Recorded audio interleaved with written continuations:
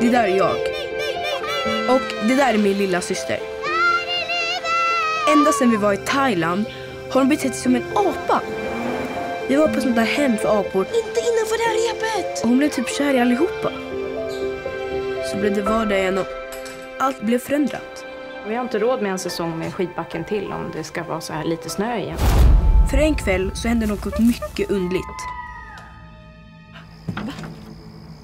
Hallå, är det någon där?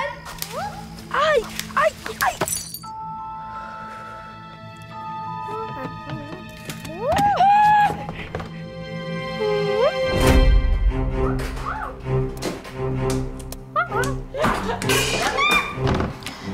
Hej mamma.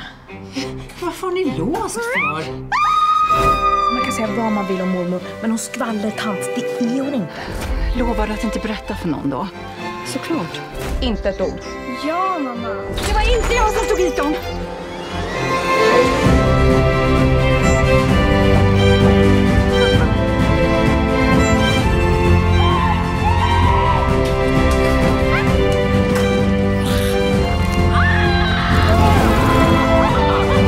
Titta Monke i ögonen och se till bara en apa.